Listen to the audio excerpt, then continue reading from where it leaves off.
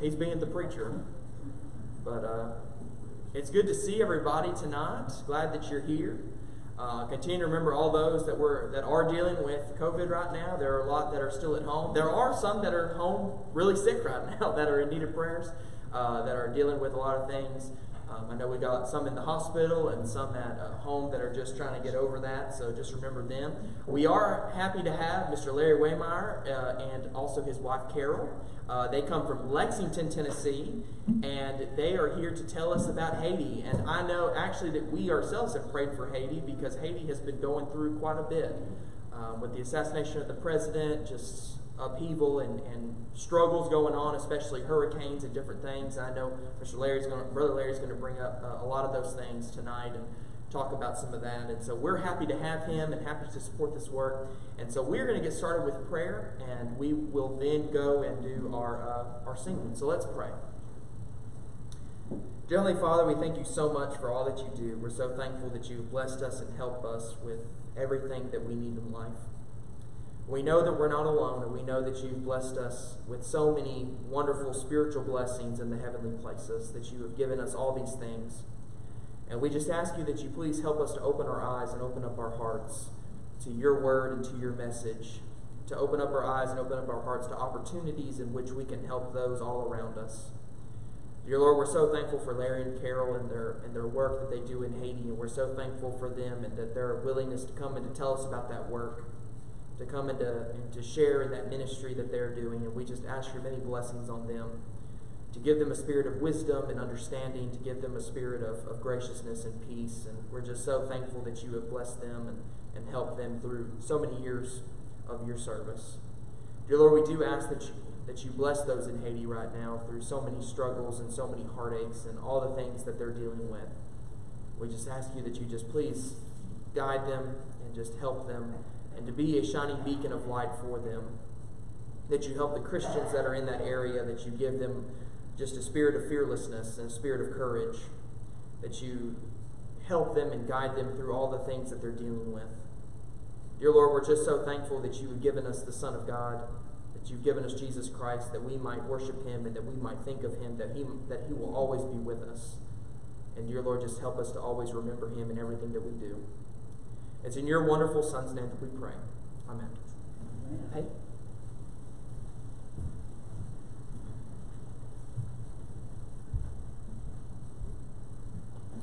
Good evening, everyone.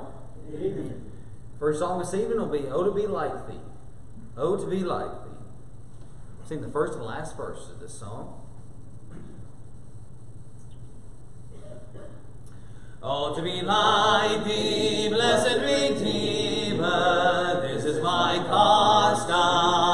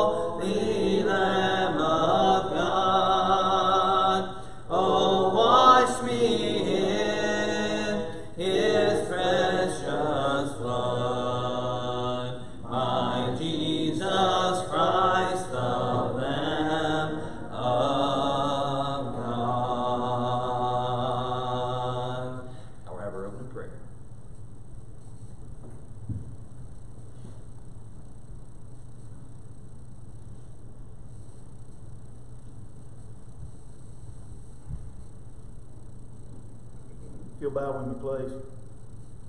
Our Father in heaven, I want to thank you so much, Father, for another, blessing us with another beautiful Lord's Day, Father. Father, we ask that you continue to be with all those who are sick, that you just continue to watch over them and, and bless them, and if it be thy will, that you restore their wanted health. Father, continue to be with all the missionaries that are throughout the world, Father, that you just watch over them and bless them and keep them safe, Father, and bless them and a, with a long life in your service. Father, we ask that you continue to be with our country, that you just be with our leaders, Father, that they may look to you and the decisions they make and the laws that they pass. Father, continue to be with all our military that are, especially those that are away from their families at this time, that you just continue to watch over them and bless them and keep them safe and bring them back home soon, Father. Father, we ask that you continue to watch over each of us, Father, and bless us and keep us safe and bring us back the next point in time. In Christ's name we pray. Amen.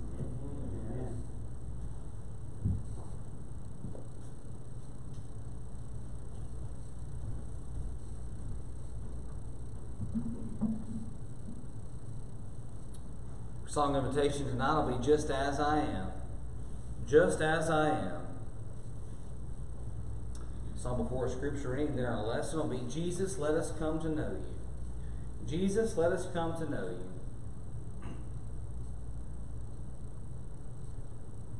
Jesus, let us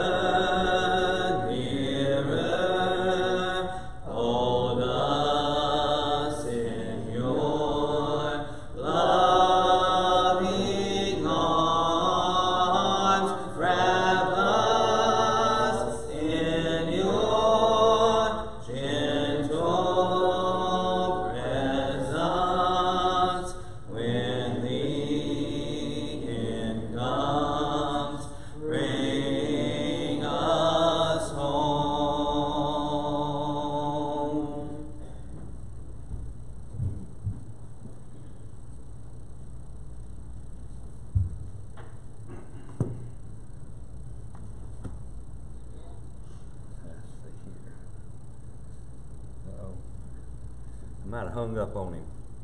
There we go. I told Mike, Mike's with uh, his mom and dad, Doris and Shelby, tonight, and um, they wanted to wanted me to FaceTime them so they could see what we were talking about too. But they send their greetings to you, and it is great to be here tonight as we come together to share in the study of God's Word. And I share with you some of the things that we're doing down in Haiti and some of the needs that's there. Uh, do covet your prayers because they certainly need them, as you'll see before the night's over. But what a joy it is to be back here at Mount Zion. I know that if it wasn't for COVID and other sicknesses, that there would be more people here. But that's the same way it is back home. That's the same way it is everywhere we go right now. We live in a changed world. But we are blessed to be able to use things like YouTube and uh, Facebook and other means of being able to reach out to family members and encouraging them as they, since they cannot come out, and certainly some people that have immune problems, then certainly they don't need to be out uh, that much. And so, but we're glad that you're here tonight. Glad that you chose to be here tonight as we share in the study of God's Word. I'm thankful for the elders and preacher that works with this congregation and his giving up the pulpit tonight. I appreciate that very much. You know, it's hard to believe that it was 42 years ago that I first came to Mount Zion. Uh, time gets away in a hurry. I don't know where it goes. I look around, and some of you have gotten older, but I don't think I have. And so, now I think we all begin to show those years as time goes on. But we wouldn't want it any other way because that gets us one more step closer to heaven. And that's what we're looking for on that final day is when, when we can stand before God and hear Him say, Well done, my good and faithful servant. Tonight I want to share with you, let's see if I'm getting this thing turned on right. There we go. Uh, as we look at our lesson tonight, you know, one of the things that I want us to, and I try to emphasize wherever we go, is that we can't forget the mission of the church. You know, our mission is to evangelize the world. Our mission is to bring people into Jesus Christ. The Bible says that we are to go, Jesus said, Go therefore and make disciples of all nations, baptizing them in the name of the Father and the Son and the Holy Ghost, teaching them to observe all things whatsoever I have commanded you, and lo, I'm with you always, even to the end of the age. That's our mission. And so, whatever we do in life, whatever we do on a mission field, whether it's helping people that need shelter or helping people that need food or medicine or whatever the case is, the end goal is to teach them about Jesus Christ and to set that Christ example, Christ like example before them so that they can see Christ living in us. Because it's one thing to get somebody well, it's another thing to get some, give somebody food to fill their, their bellies and to nourish their bodies. It's another thing to put shelter over somebody's head. But the most important thing is to bring them to the body of Christ. Bring them to the kingdom of God so that they can have the hope of an eternal home with Him in heaven. Our mission is not only to evangelize, but to help others so that they can help others as well. And just emphasizing what is in the, the red here, what you have heard, entrust to faithful men who will be able to teach others also. You see, that's God's plan for evangelizing the world. Teach others, to teach others, to teach others, and let the gospel continue to spread. It wasn't just the apostles during the first century that preached the gospel, that spread the gospel throughout the known world at that time. But the Bible tells us in the book of Acts that after the persecution started and Stephen was stoned to death, that the Christians were scattered everywhere preaching the word. You see, it was members of the body of Christ. It wasn't just the apostles. The apostles, as a matter of fact, stayed there. But the members took the gospel wherever they went. They went back to their home countries and their, their home uh, towns, wherever it might be. And they took that message of Christ with them. And that's what we must do. Is take the message of Christ wherever we go, whether it's to school or to work or to Haiti or wherever it might be. We take the same message, and that's the message of salvation. To give you an idea of some of the things that we are doing down in Haiti right now, and I've been working in Haiti since 2010. Uh, you know, it's, it's, it's strange how certain people come into your life at certain times and it alters the direction that you're going. You know, when I was still stationed over in Germany and Mike and I were uh, worshiping together in the church over there, and we were uh, working with the young people, and I decided to uh, go into preaching. Uh, IBC wasn't on my mind at that time, or Heritage as it's known now. Wasn't on my mind at the time. I was headed to Texas. And then Mike started telling me about IBC, and then he told me about Mount Zion, and now we've had a, a, over 40 years of friendship with this congregation. And what a blessing that is. Well, that's kind of the way it was with the work down in Haiti. While Carol and I have worked on many islands in the Caribbean, somewhere around 25 islands, uh, throughout the Caribbean and, and helping to plant congregations and working with congregations when I had no plans to go to Haiti. But in February of 2010, the earthquake had taken place in January, and I saw two preacher friends of mine, and they said, We need you to go to Haiti. And I said, Okay, when do you need me to go? And this was on a Monday afternoon about 5 o'clock. And Jesse said, I will get your ticket tonight. You leave it out of Nashville 6 o'clock Wednesday morning. So I said, All right, I'll go. And I've been going ever since. And what a blessing it's been. Uh, some of the brethren that we have in Haiti are some of the strongest, some of the most faithful, some of the most dedicated, some of the most loving Christians that I've ever met. And so those introductions that we have and those people that we know in our life sometimes can make a world of difference. Well, you can make a world of difference in somebody else's life as well. But that was the start of our work down in Haiti. Now, one of our primary goals is to train preachers. For the first three and a half years that we were in Haiti, I was working with the relief program. The Estes congregation, which is about 30 miles from us, started receiving money uh, after the earthquake of 2010 that claimed somewhere between 250 and 300,000 lives. And so they asked me if I would oversee those funds being spent on the ground. And so I made regular trips, at least once a month, if not more, going back and forth to Haiti. And uh, during the first three and a half years, we were able to feed over 10,000 people a month for uh, and provide food for them. We took medical teams down, provided medical aid. We were able to help rebuild homes. We rebuilt church buildings. There was just many, many different works that we were able to do.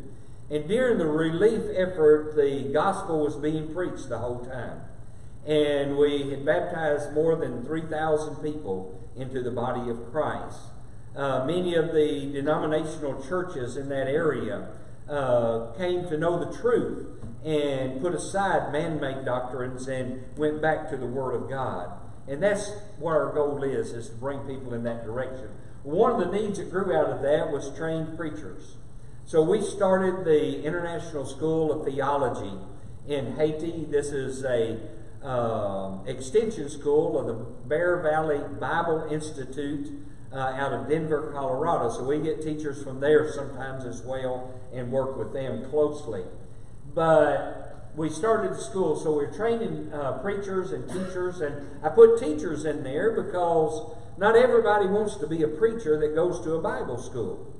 Uh, we have women that attend our Bible school in Haiti, and they said, We don't want to be preachers. We know we can't get up and preach, but we're teachers of God's Word, and we want to be better teachers. And so we have four women uh, attending our school right now.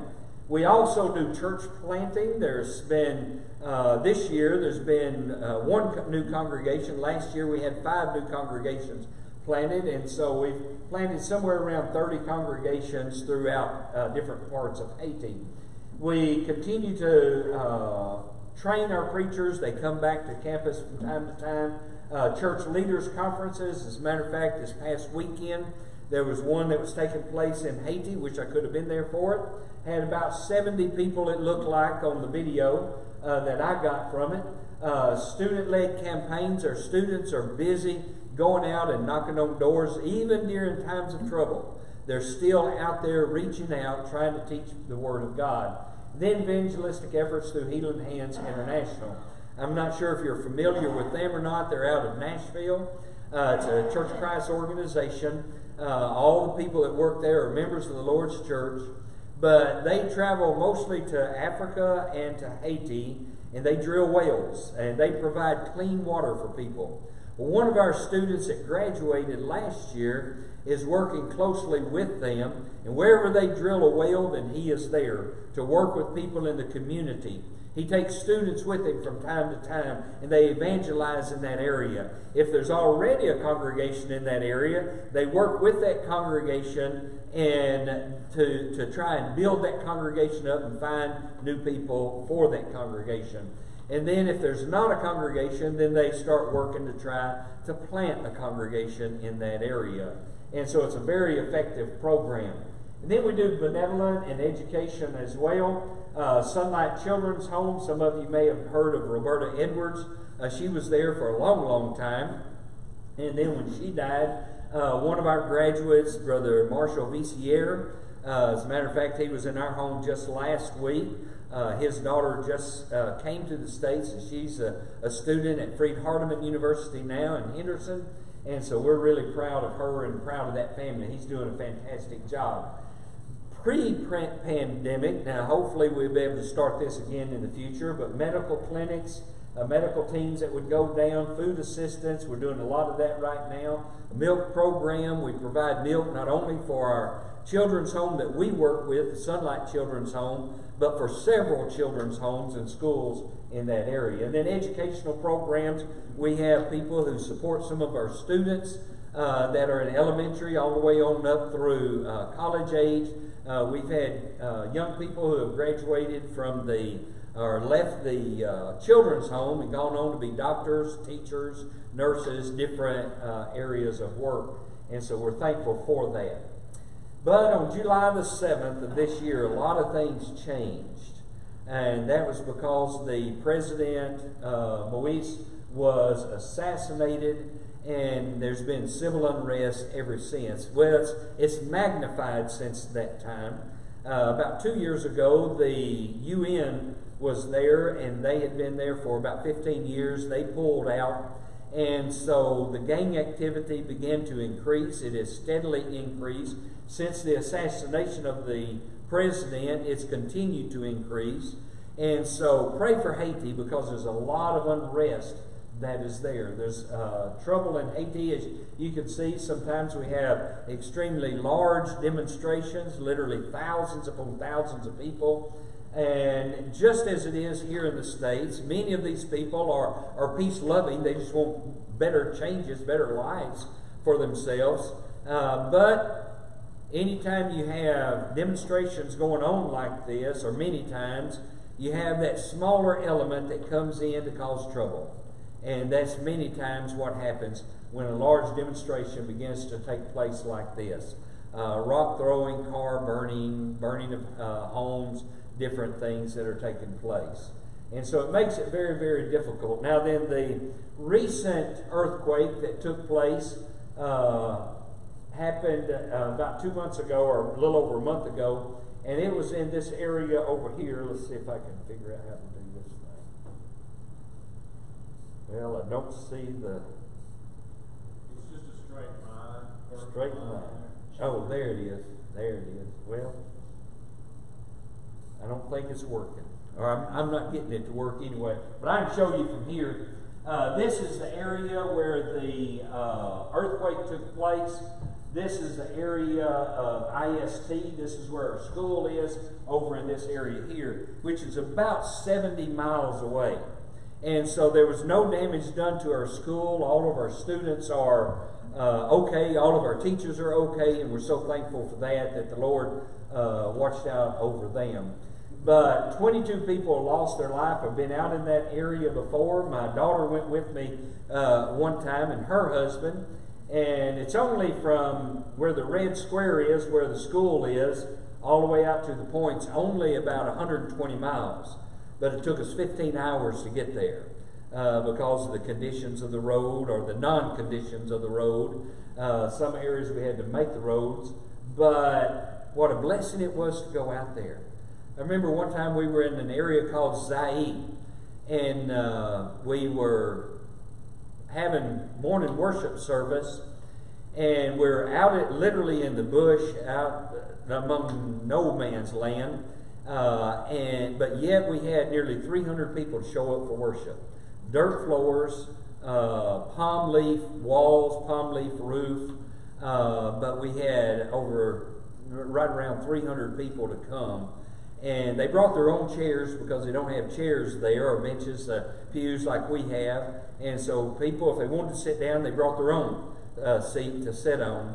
And uh, what a blessing it was. We had 21 baptisms after that service that day, and the church is still going strong in that area.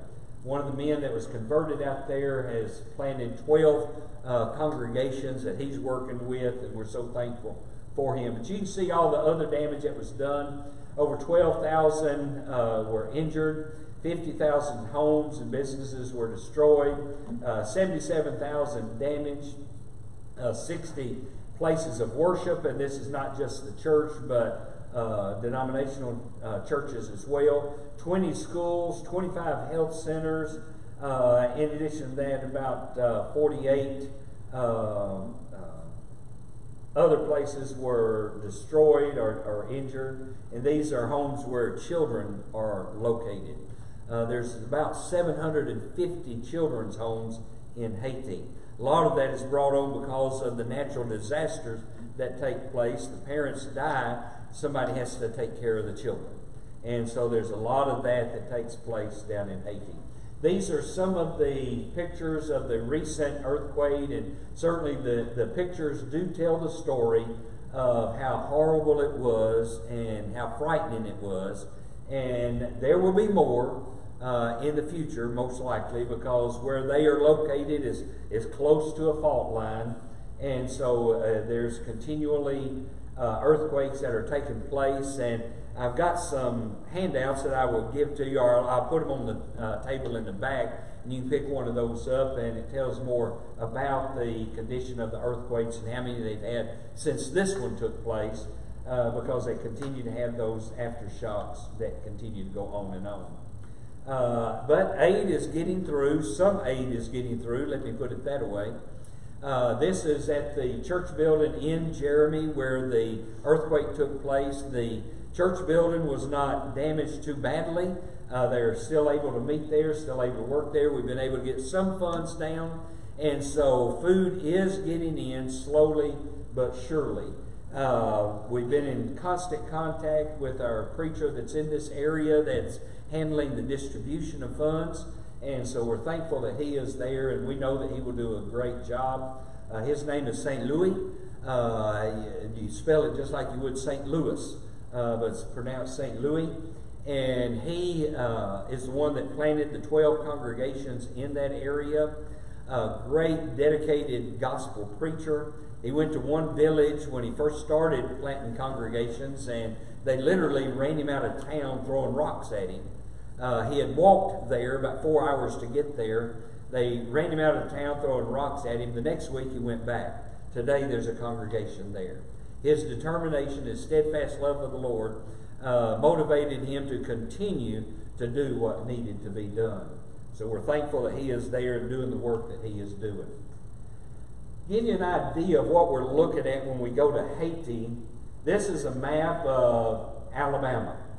And Alabama is 52,423 square miles. Haiti is 10,714. So Alabama is about five times bigger than the land mass in Haiti. And to give you an idea of how many people we're dealing with, about 27% of the Caribbean population lives in Haiti. And the orange part of Alabama at the top is about one fifth of Alabama. And if you were to move everybody from Tennessee, and according to the number I found, we've got 6,829,000 people in Tennessee. Alabama has uh, 5,024,279, which gives us a grand total of 11,853, 279 people. And if you took all of those people and you put them just in the orange area, and then you turn off about 70% of the electricity, about 70% of the water, uh, have uh, no sewage uh, processing in that area, uh, only a few hospitals that can be used. Then, and, and throw in on top of that about 70% or so of unemployment. That's what we're dealing with when we go to Haiti. Extreme, extreme poverty. The last time I checked, Haiti was the fourth poorest country in the world. Uh, most people live off of less than $2 per day. And so it, it's, it's not a luxurious island as some might think. Now, it's a beautiful place. There are some beautiful, beautiful places in Haiti. But there's a tremendous need that is there. And that need is the gospel. And that's what we're trying to do. When we first started school in 2014, we had rented a place and it was costing us about $15,000 a year. And I thought, well, if we find a place that we can buy, then we might be able to take that same amount of money and pay it, and then eventually it'll be ours, and it will be, you know, we won't have to pay that rent. We can use that money for something else. So we found this piece of property. Sister Roberta helped us find this piece of property, and those tower-looking things that you're seeing in there, uh, that is uh, uh, wrought iron that is uh, sticking out of the ground. That's what the columns were going to be going on. There was a house there, there was a foundation there, and it was exactly uh, the layout that we wanted. So we felt like that the Lord's providence had worked out that for us, and so we were able to buy this. I spoke to one man, and uh, who was a lawyer friend of mine down in Haiti, and I asked him. I said, "Well, how much do you think we'll have to pay for this piece of property? It's about three acres." And he said, "You won't get this for less than two hundred fifty thousand dollars." Uh, property on an island, wherever the island is, is extremely high uh, because they're just not making any more of it, and it's limited. And so we, I said, well, I'm going to offer a hundred thousand and see if she'll take it. And she did. And so we were thankful that the Lord brought us to this point. It had, with the foundation, the house that was on it, uh, little things like a light pole uh, for us to get our electricity there. It had a deep water well already uh, drilled on the property. That saved us, all of that saved us probably between forty and fifty thousand dollars right there. And so it was a blessing to be able to get this. And so we started working on it, raising money and uh, little by little, and we, we paid for it as we went. Uh, we still owe a little bit on the other, but we paid for it as we went. Uh, we hired local people to come and to do the work. Uh, that way, we provided an income for a lot of people in the community that we were going to be reaching out to with the gospel. And uh, the day that we poured the roof, it's about 6,500 square feet, and they poured this roof in one day's time, in about an eight to ten hour uh, period, and uh, with one gallon buckets. Uh, somebody said, well, wouldn't it have been easier just to get a pump truck to come out there, which we could have done. They have pump trucks in Haiti as well. And it would have been, but it would have cost us about the same. But this way, we provided income for about 50 families in that community for a couple of days. And what a blessing that was to be able to do that. But we had people mixing the concrete, and then you see the men in the top picture going up the ladder. Uh, they'd hand the buckets to them. The buckets would go up the ladder. They'd be poured out. Other people would be spreading it, and then it was just a, a continuous cycle going round and around. But we're so blessed to have the facility that we have uh, to do with what we're doing. Uh, let's see, that, there it is. I passed one up here.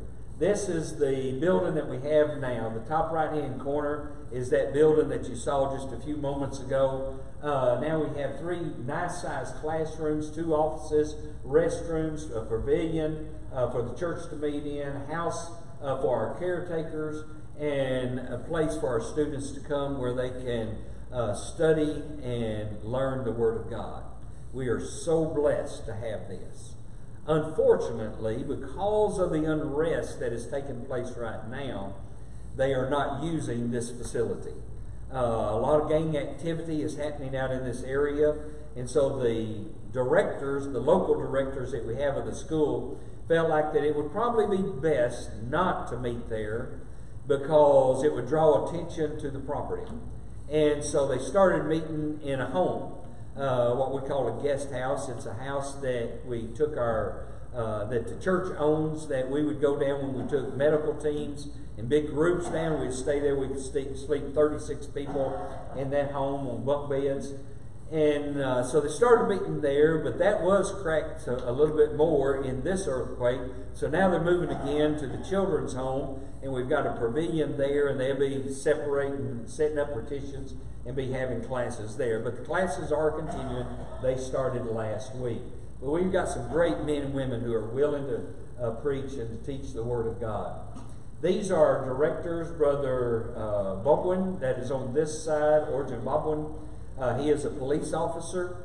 Uh, he has had to flee the, uh, flee the country as well because of threats to his life. He's a great man. He's a dedicated Christian. When he first became a Christian, he wanted me to go with him to Jérémie and to spread the gospel. He came by the house one day, he and his wife had his Bible in his hand with tears in his eyes. He said, This is pure gold. I've got to take it to my family. And at that time, I was heavy in the relief effort, and we just could not get away. So he went. And he's the one that converted St. Louis. St. Louis is the one who has planted all the congregations in that area. And so the Lord works in, in ways that maybe we don't understand sometimes, but a dedicated Christian man. Brother Felix on the far side is a uh, gospel preacher. He's been preaching for about 40 years a director of a uh, preschool and an elementary school. Uh, he has been working in the what's called the City Soleil area. In 2006, City Soleil was considered the most dangerous place in the world to be. He's had to leave that area three different occasions because of threats to his life, but he continues to go back and to preach and to teach the Word of God. It was men like this that we wanted to be the head of the school down in Haiti. Men that we could trust, men that we knew were rooted and grounded in the faith, and that they would stand firmly on the Word of God. Both of them also graduated from our school of preaching. These are teachers, Brother uh, Saint Hubert. Uh, you uh, just mentioned him, Brother Felix. Brother Marshall Vicier in the middle on the top. Uh, he is the director of the children's home, a gospel preacher. Uh, we started a congregation on the campus at school, so he preaches there. Uh, is also the director of our children's home, uh, just a very dedicated Christian. Uh, Jean Claude Lemon, he is our what we would, I guess, refer to in the States as an administrator, also a teacher. He has a degree in uh, education uh, teaches French, or he did teach French in the high schools. Maybe uh, I think he still does some of that. Brother Gillett, Jean Francois Gillett, uh, he is our Greek teacher. Uh, been teaching Greek and not only at uh, IST but other schools uh, for about 30 years. Brother Demosthene is a unique individual. He's also a graduate. All of these, except for Brother Gillett, are graduates from our school. But he travels about four hours each way to teach uh, his classes. He comes three days a week. And so he's four hours to get there. Classes last four to five hours, and then he takes takes him four hours to get back home. Very dedicated to the work. Very dedicated to the congregation that he's working with. He's been preaching for over 20 years. Uh, Sophia uh, Felix, uh, she teaches our law classes. She's also our secretary. She's also the director of a uh, kindergarten and uh, has a degree in law. And so we're thankful that she is there and helping us to work through some of the issues that we have to work through from time to time. Top left hand corner is a picture of the congregation. When we started the, the congregation in, at the school, uh, on opening day, we had over 500 people that came, 517 to be exact, uh, people that came to hear the Word of God being presented. There's a congregation of about 100 members that was meeting there, but because of the uh, pandemic and because of the trouble that has taken place in Haiti, right now the congregation they have broken up into different homes. They still get together some, but it's mostly in their homes that they are meeting now. Uh, so pray for peace. Uh, these are our 2021 students, uh, or at least some of them. This was the seventh year. We just started the eighth year of, of training preachers and teachers. Some great people. I wish you could meet every one of them. Last year we had 238 baptisms through our teachers and our uh, students. We, that brought us to a total of about 1,450 uh, people that have been baptized into the body of Christ by our students and our teachers. Uh, five new congregations last year. So far through June of this year, we've had 112 baptisms, and that brought us to about 1,562. So we're so thankful for these men and women who are not afraid, not ashamed to go out and to preach the gospel. And the preachers there, most of them do not get any salary because uh, congregations can't afford it. They may have a congregation of two or three hundred members, but the contribution may only be twenty or thirty dollars. And so it's enough to buy communion supplies, and if they have a generator for lights, then they may have that. None of the buildings have air conditioning or anything like that in them. Many of the congregations will meet early in the morning, and when I say early, I'm talking about between 5 and 6 in the morning to beat the sun. Uh, before the sun begins to beat down on the tin roofs and it gets so hot under it you can't hardly stand it. Uh, but we're so thankful that they are there. Thankful for the work that they are doing. And I've met so many good people, good congregations that are there. And uh, this brings us to our last slide, brings us right back to where we started. Paul, in speaking to the about the church or about the Israelites, says, Brothers, my heart's desire and prayer to God for them is that they may be saved. For I bear them uh, witness that they have a zeal for God, but not according to knowledge. It's not enough just to be excited about being a Christian. We've got to have knowledge. You know, our relationship with God is not based on feelings. Our relationship with God is based on our understanding who God is, what God has done for us through His Son, what Jesus offers us when we come into His family, when we obey the gospel.